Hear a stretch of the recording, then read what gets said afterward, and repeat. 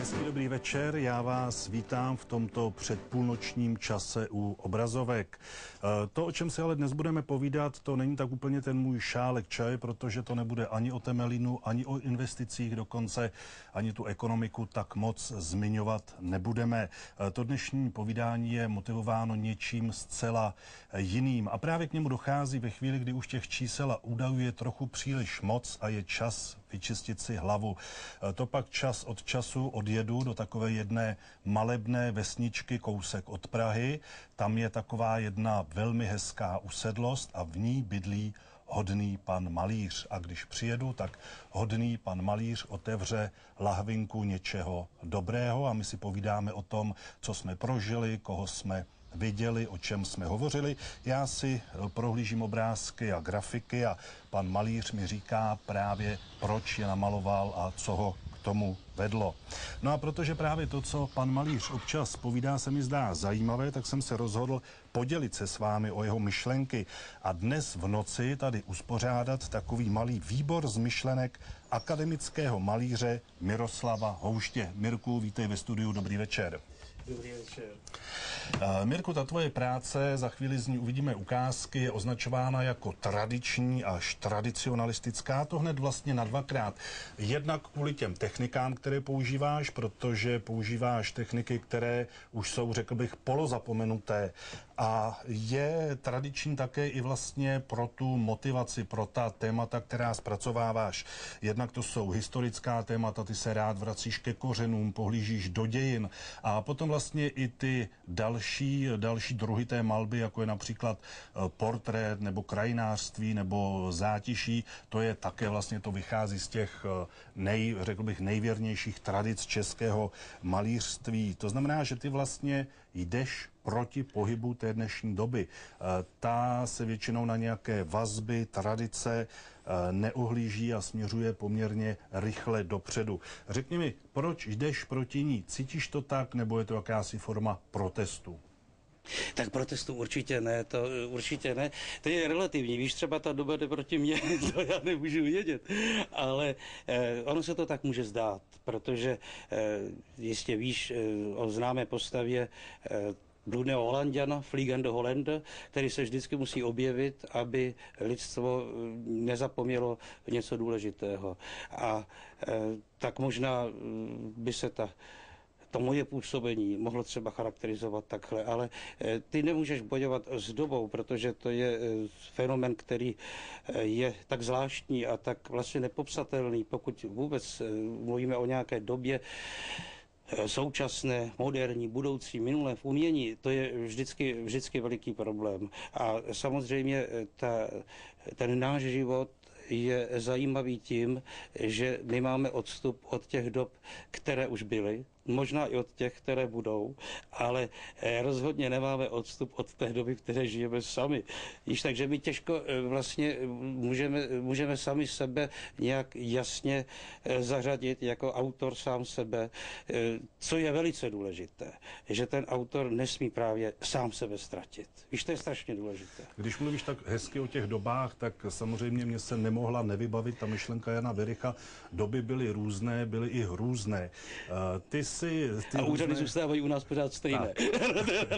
Eh, ty jsi se do té minulosti díval poměrně, řekl bych, fundovaně, ty si tu historii eh, studoval poměrně podrobně, když si vytvářel nějaká ta monumentální eh, díla, jako je například věžba Libušina nebo Cyril a Metoděj přichází, přichází do Čech. Z tohoto pohledu, které to období dějin, když se ohlédneš až nejdál, jak to jde, považuješ, řekněme, za nejšťastnější? To je také otázka, která je velice široká, ale když se pokusím trošičku, trošičku ji zúžit a specifikovat, tak samozřejmě, když vezmeme takovéto období Karla IV., tak to je samozřejmě jeden z úžasných vrcholů, kdy vlastně takový ten eh, duchovní styl gotický eh, se dostává do eh, tak úžasného rozkvětu, že nakonec můžeme mluvit potom na konci teda tohoto gotického období, vlastně o jakémsi až gotickém baroku. To je, to je eh, období neuvěřitelně zvláštní, kdy vlastně Karel tím spojením eh, s tím románským světem, s Francií, vlastně jakýmsi zvláštním způsobem zjemňuje ten talentový zdroj, který v Čechách vždycky byl a nemusím popisovat ta, ty, ty nejznámější a nejkrásnější výsledky, ale když jenom tak trošku naznačím, tak třeba ty portréty, které jsou na Karlštejně, tak to je vlastně největší e, galerie e, vlastně portrétního malířství eh, gotické doby, která kde na světě vůbec je pohromadě. Takže eh, samozřejmě tahle ta doba byla eh, úžasně inspirativní a je inspirativní i pro mě, protože ono, my taky někdy se díváme třeba na ten středověk, na ten gotický středověk, jenom právě takovým tím jakoby hlubokým duchovním prožitkem, který se jakoby vzdává něčeho světského, ale ono to vůbec tak nebylo. Ta kultura byla velice bohatá, velice barevná. To všechno, co se nám dochovalo, tak se nám dochovalo eh, samozřejmě pod filtrem těch dalších staletí a dalších událostí, takže eh, vlastně to je teď všechno takové trochu smutnější, ale když se podíváš třeba na eh, gotický obraz právě třeba z doby Karlovy, tak vidíš, že vlastně ten figurální děj už pomalinku taky začíná tvořit místo třeba pro krajinu. To tak postupně je, že vlastně Eh, z těch původně svatých výjevů a, a výjevů liturgických.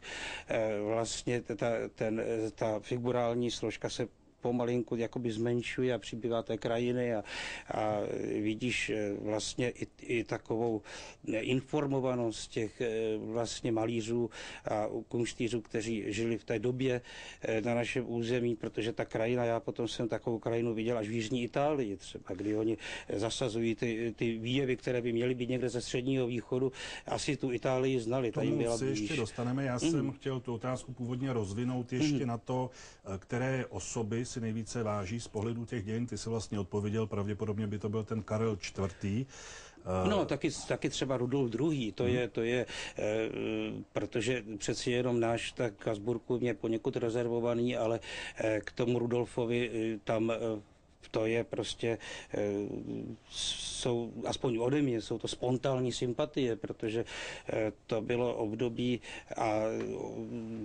my máme někdy zprávy o něm takové e, zvláštní, e, jako ta jeho postava je popisována e, takovým rozpolplným způsobem, ale byl to člověk asi nesmírně inspirativní. Právě to, taková ta jakási jeho nevyrovnanost samozřejmě pramenila z toho množství těch jeho zájmů a vlastně on jakoby pozdržel tu 30 letou válku a vytvořil tady pro Čechy a, a v Čechách takové zvláštní místo klidu, kde se mohl rozvinout ten styl, který známe jako manírismus, který je nádherný, protože on už vlastně eh, má v sobě něco, co, co eh, vlastně už predikuje, predikuje baroko a vlastně jakoby zpátky vrací ten renesanční styl do takové té citovější, citovější polohy. Hovoříš o té citové poloze, pojďme teď udělat takový poměrně ostrý střih a podívat se na tu současnou epochu, kterou teď e, prožíváme. Já bych ji zařadil asi k těm šťastnějším, protože můžeme plnou řadu věcí. Můžeme cestovat, můžeme e, vnímat kulturu bez jakéhokoliv omezení, bez cenzury. E, mzdy slušně rostou. Když se podíváme do obchodů, jsou narvané zbožím, ale přesto dá se této době něco vytknout? Ale tak e, to víš, že když postavíš tu otázku takhle, tak eh, bychom na to mohli udělat eh, celé to večerní povídání, co se na té době vytknout, ale... Pojďme eh, zase zúžit. Ale samozřejmě člověk musí být vděčný za dobu, které se narodil, ať už je jakákoliv, takže musíme vždycky si myslet, že jsme se narodili v době kladné a ono s uměním a s takovou tou přízní můz a můzy.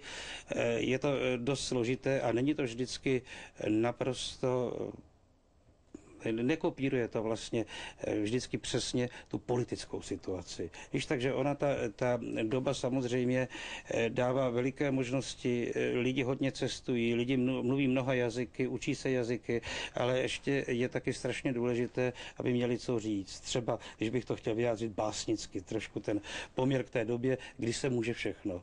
Je to dobře, ale zas to znamená nebo to přináší daleko větší nároky vlastně na, na, všechny, na všechny účastníky té doby, nejen na umělce. Nejen na umělce. A je co říct? No, samozřejmě, že je co říct a to je, víš, jako ten konštýř, když se jako umělec narodí, což si myslím, že se stalo mně, protože já jsem nechtěl nikdy dělat nic jiného, já jsem od jak živa byl eh, přesvědčeným malířem, eh, grafikem, sochařem, architektura je velmi blízká. Tenhle ten typ vidění světa eh, mě byl nějak daný, takže, takže pokud ti je něco takového dan, už daného, tak ty vlastně nikdy nepřemýšlíš o tom, nebo nepřemýšlíš o tom, eh, jestli máš co říct. No samozřejmě, že máš co říct. To je samozřejmě. Já tě trochu podezírám, že ty jsi se i na to Tursko, do té vesničky u Prahy přestěhoval proto, aby si žil v té krajině, kde Eh, ty eh, dějiny přímo duněly. Tam dokonce jsou turská pole, kdy byla taková ta slavná bitva mezi Čechy a Lučany, kde Češi vlastně obhájili právo, obhájili svou existenci, právo na svoji státnost a tu si potom udrželi. Nicméně ta další staletí už nebyla tak jednoznačná. My jsme často museli dělat to, co nám říkal někdo jiný. A já bych ten historický náš exkurs ukončil takovou otázkou, jestli vlastně máme právo dneska se eh, otáčet k těm úplně původním těmto kořenům, do té eh, nejstarší historie svatého Václava a podobně. A nebo jestli eh, po těch staletí, která nebyla tak úplně šťastná, musíme to naše východisko posunout, já nevím, do roku 1918, možná někam jinam. Já si myslím, že k těm kořenům, že to, je, že to je ne právo, ale že to je dokonce povinnost. Když si třeba zmínil svatého Václava, tak toho svatého Václava eh, máme tak každý eh, kousek, eh, kous, nebo trochu té jeho krvi, v té vlastní krvi, v tom vlastním vyšlení. Je to, je to součást nás a on nás taky vyjadřuje, protože vlastně svatý Václav, tak jak my ho vidíme, tak si ho vlastně český národ vytvořil. My zase nemáme až tolik konkrétních zpráv o svatém Václavu, ale vlastně eh, v té postavě svatého Václava vlastně eh, ten český národ jako otisk představu sám o sobě, kterou má. Takže to si myslím, že je něco pro nás velice důležitého. A, a svatý Václav byl eh, člověk fyzicky zdatný, to znamená, že to byl taky bojovník, ale na druhou stranu to byl člověk, který uměl lásky plně se starat o vinici, což je taky zase no, básnicky řečeno vztah tedy k duchovnímu životu, ale uměl taky vylisovat to víno, uměl si vážit darů země, čili to je, víš, to je taková ta tradice eh, i toho, i toho vlastně ještě předkřesťanského duchovního myšlení, to třeba vážit si darů země, že to je ta pazba na tu antiku a to potom vlastně všechno eh, v tom novém zákonu splývá a vytváří nám takový takovou strukturu pro eh, vlastně ten další náš vývoj. Takže to si myslím, eh, já bych vlastně ani neřekl, jestli máme pravdu, ne, máme právo, nebo je to naše povinnost, ale nám nic jiného nezbývá, protože my prostě takový jsme. Eh, já se vrátím teď ještě k takovému spojení, které si měl velice rád v jednu eh, dobu tvé tvorby a to bylo spojení Keltů, čili té ještě dávnější historie a spojení Keltů ze Šumavou. Ty si maloval například obrazy, kde vystupovali Keltové na obřím hrádku u Popelné a vlastně si spojoval další silné téma Šumavu a Kelty.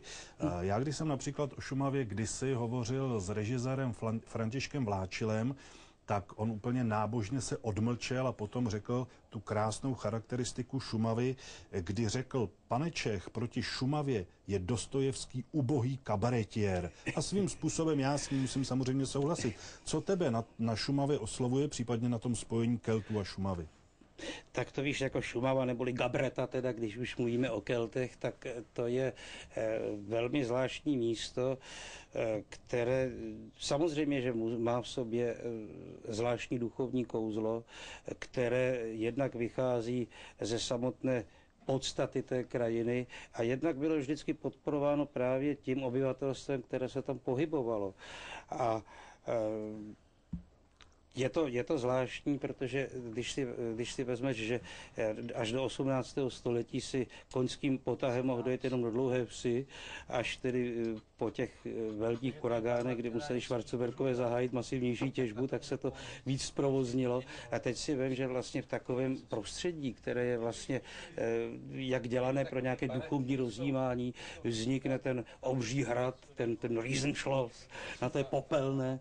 A oni tam samozřejmě měli taky utilitární zájmy, protože tam bylo pochopitelně zlato, ta Šumava. I, i, ale i to, i, i přítomnost zlata v zemi zase vytváří zvláštní duchovní situaci. To e, není jen tak samo sebou, vždycky místa, kde se vyskytuje zlato, jsou nějakým způsobem zvláštní a, a propojí se s tím, e, s tou duchovní podstatou e, těch obyvatel, kteří takové území obývají.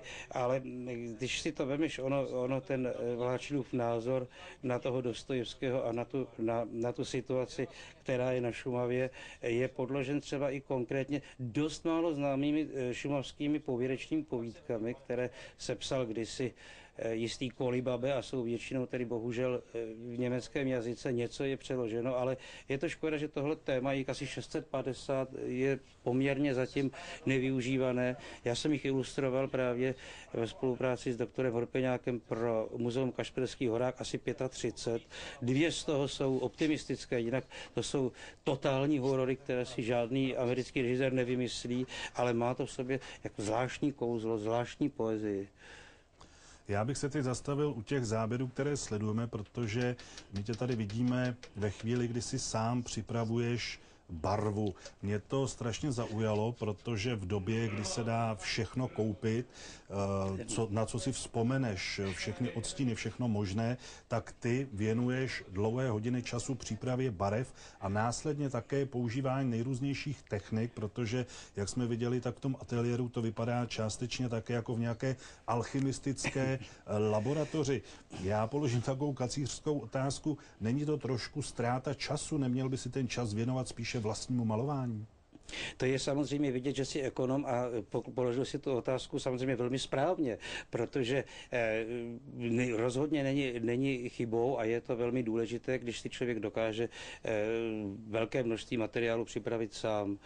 Eh, tam je mnoho, mm, mnoho věcí, o to bychom zase mohli rozvádět, co ti to všechno dává a proč se to dělá a proč se teda vlastně, vlastně všechno koupit nedá, protože ta barva, kterou ty uděláš, tak samozřejmě ty všechny ty, ingredi, ty ingredience už tedy používalo mnoho uh, malířů přede mnou a bude používat ještě po mně, ale každý to udělá trošku jinak a vždycky si to uděláš tak, jak to ty potřebuješ v té pravé chvíli, ale ta otázka času, samozřejmě to je problém, protože ta dnešní doba je taková zvláštní. Já, ne, pro mě je problém mít třeba v ateliéru učedníka tak, jak to měli staří, staří mistři, protože eh, dneska jako v téhle situaci, v téhle postavení nikdo nechce být. Každý chce být postavení mistra eh, ještě dřív, než eh, vlastně se rozhodne, v čem tím mistrem vlastně chce být. A je to ale také dané eh, tou strukturou té doby, která je taková velmi, velmi jako úředně oficiální, protože třeba těm starým mistrům, takové, když to to italské období, řekněme Benátskou školu, že je Tizianův ateliér, ať teda eh, jdeme in media res. A, a tam eh, přicházeli ty chlapci tak někdy ve 12 letech, což je úžasná věc, protože, eh, protože ty v téhle době ještě nemáš takovou tu Eh, to tvoje ego nechce ještě tolik ven. Takže ty ještě dokážeš si na toho mistra, který to umí nekonečně líp než ty, dívat téměř jako na Boha. Čili velmi rychle a velmi jednoduše přejímáš spoustu věcí, který takovou tou racionální cestou. Potom to, to trvá strašně dlouho a vždycky je to takové trošku neohrabané. To znamená, že ta symbioza toho učně a toho mistra byla ohromně výhodná, protože ten mistr měl pořád čerstvou dodávku barev na paletu, protože ten učedník to tam třel a dělal všechny tyhle práce. I o nich bylo víc vždycky, že tak ze začátku dělal ty, ty horší, pak lepší, lepší, až nakonec se podílel přímo na těch, na těch mistrovských obrazech a tak dále. Tak z tohohle toho hlediska je to velmi nepraktické, to máš pravdu a musím, musím volit různé cesty, jak si, jak si teda pomoct, aby mi to nezabralo až příliš mnoho času. Ano. My jsme teď viděli takový pohled do tvého ateliéru a To mě vysvětlí jednu věc, které úplně nerozumím. Tam já, když se obrazně řečeno podívám do jednoho koutu, tak tam vidím takový šerosvit, takové tmavé barvy a musím velmi bedlivě sledovat, co na těch obrazech je. Je to samozřejmě ta šumava, že ty motivy jsou skryté pod stromy a je to všechno ve stínu utopené v takových tmavých tónech. A když se podívám do druhého koutu toho ateliéru, tak tam to září barvami, tam je žlutá, oranžová a ta témata ta jsou patrná už od toho, od toho okamžiku, co vstoupím do ateliéru. V čem, pro, proč je tam takový ten jakoby protipol?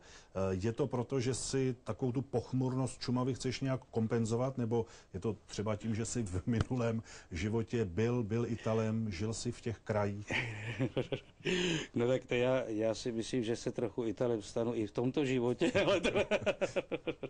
no ale tak jistě, že to jsou i e, jakési rodové vazby vzdálené a tak dále, kdy eh, člověk třeba, když mluvíš o té Itálii, něco nachází asi tím způsobem, jak eh, známo z antické moudrosti, učení, rozpomínání, takže i když se setkáš třeba s tím jazykem italským a najednou tě začne oslavovat tak jako, e, že se ho neučíš, ale že ti to připadá, že jsi to jenom zapomněl a že e, si to, že jsi, to, že jsi si na to znovu vzpomněl. Samozřejmě, že určitě ty, ty moje časté pobyty v Kalábrii na tom jihu Itálie anebo kolem Říma ti, ten svět ukazují skutečně trošku jinak, v jiném světle a v jiných barvách a vůbec v jiných souvislostech. Ale ty tmavé věci, jednak samozřejmě ta Šumava je uchvatná, podmanivá právě v takových těch mlhavých dnech, v takových těch dnech vlastně nepohody. I když... Když tam když, mrholí. No, no samozřejmě, to je, to je, protože to všechno má, to, taj, to její tajemství se tím vlastně ještě znásobí a ona vlastně tím podává už sama, sama o sobě umělecký portrét, umělecký obraz. Ty už ho nemusíš hledat. Ty, to stačí, když se zmoučíš jenom části toho, co vidíš. I když taky Šumava je nepopsatelně krásná, v nádherné v letním dnu, kdy má to azzurro taky jako v té Itálii, ale takových dnů je málo, takže my tu Šumavu jsme zvyklí vnímat spíš tímhle způsobem jakoby pochmurnějším. Ale je to taky dobová záležitost, tedy eh, myslím starší a novější věci. Já jsem dřív eh, se víc držel takových jako hlubokých tónů. Když to vemeš ve zpěvu, tak jsem se spíš pohyboval v těch basových tónech. Teď se dostávám dál. Já nevím, jestli je to opravdu ovlivněný, ovlivněno tou, tou Itálií a eh, jestli teda tam bude nějaká ta opera bufa, ale to je otázka. Ale myslím si, že ono je totiž ta doba je taky taková, eh, pro, víš, každý kunštyř v sobě nese eh, jakousi má, má v sobě takový, takový eh, temnější kout eh, něčeho takového jako bolestivého, zvláštního a ono se to strašně dobře maluje. Víš? Ano, to je, to ale, ale přesně věc. tak, ale, ale ty, ty, ty lidi, kteří jsou kolem tebe a právě v tom náporu té dnešní doby najednou nemají sílu totiž na to, aby byli schopni přijímat tyhle ty obrazy. Oni se na ně rádi podívají, ale eh, v té místnosti, kam by si je třeba chtěli pověsit, by ten obraz na ně byl příliš, na ně byl příliš silný tlak ono je to možná i taky trošku důvod, proč eh, vlastně já jsem přešel na takové jako kontra, mm-hmm. kontrastnější podání a barevnější podání, pestřejší, řekněme. Mirku, my tady dnes večer nebo v noci hovoříme o zdrojích tvé inspirace. Uh, umíš, dokážeš popsat ten moment, kdy tě něco chytne a kdy si řekneš, tohle musím namalovat a musím to namalovat tak a tak. Je to ve chvíli, kdy se ti něco líbí, nebo spíš ve chvíli, kdy při pozorování něčeho se ti vybaví nějaký pocit? Jak, jak to funguje? Je to různý, víš, je to různý. Mnohdy, mnohdy eh, si musíš vytvořit takovéto prostředí pro to, aby eh, tě ta můza mohla navštívit a máš na to určité techniky, protože jsi profesionál a musíš, musíš pracovat, že to je taky práce, umění je především práce, ale eh, já mám takový, takovou osobní teorii, když celý rok takhle pečlivě a tvrdě pracuješ, teď se to říká tvrdě pracovat, já myslím, že to je anglicismus, pracuješ poctivě, to je lepší, tak ti dvakrát za rok pambu pomůže.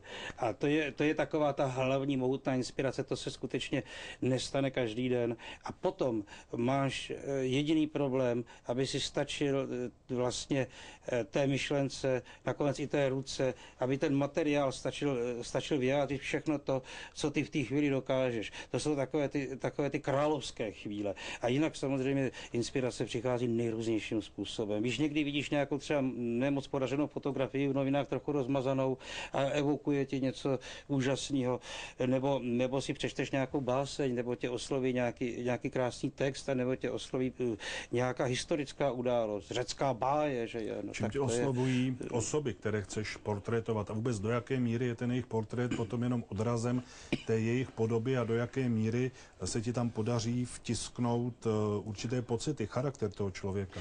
Víš, to je, to je Přemku, taky téma na asi takových 15 rozhovorů, že je takových, protože to je eh, třeba o lidské typologii, je spoustu teorií, mnoho lidí se tím zabývá a eh, je to velmi zvláštní eh, samozřejmě u portrétu tě překvapí i taková věc, že v dnešní době třeba lidi jak si tak strašně zvykli na fotografii a fotografii naprosto, ale naprosto stoprocentně věří, tak vlastně se trošičku ztratili tu schopnost toho abstrahovaného vidění a být schopni vůbec přijímat portrét v podání teda lidském, lidském vidění, ne ve vidění objektivu, ne tedy v objektivním vidění. A e, portrét je e, od začátku, když začneš pracovat na portrétu, úžasné mystérium a jako samozřejmě někdy, někdy maluješ někoho, a ten portrét je ti tak jasný, jak to uděláš, že skoro ti tam ten model už překáží, že by si chtěl, že by si už chtěl jako rovnou, ještě... aby tam skoro radši ani nebyl, protože už ho tak dobře umíš z paměti a někdy na tom děláš strašně dlouho, ale neznamená to, že, že to je horší. Víš? Mirku, a dvěma slovy, kdyby, eh, my jsme hovořili o těch vazbách na minulost, kdyby si měl namalovat dnešek dvěma slovy, co by na tom obraze bylo? No, kdyby to byl speciálně dnešní den, no, tak by to byla samozřejmě eh, krajina, trošku mlhavá a svítil by tam e, raně rozkvetlý zlatý déšť. Mirku, já ti děkuji, takže přátelé, to byl e, takový pohled na zdroje tvorby akademického malíře Miroslava Houště. Já doufám, že vás taky nabil tím optimismem a radostnou náladou a že zítra ráno vám ještě tam něco zůstane a budete mít, budete mít chuť udělat něco pěkného. Hezký večer a dobrou noc. Děkuji, nashledanou. Nashledanou a bylo to skvělé.